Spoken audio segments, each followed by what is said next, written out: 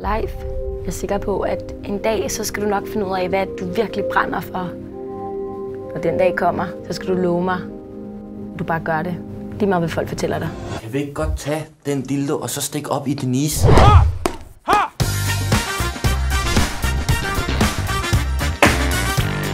Jeg sætter en stor ære i, at der ikke er nogen løse forbindelser her i huset. Cut, cut, cut, cut, cut for satan. Lad os nu gå tilbage og lave nogle film.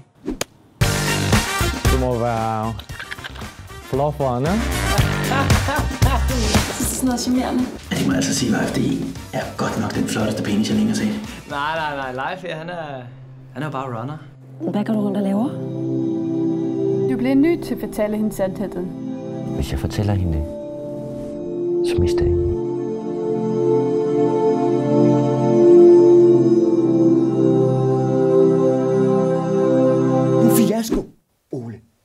Så er du grim.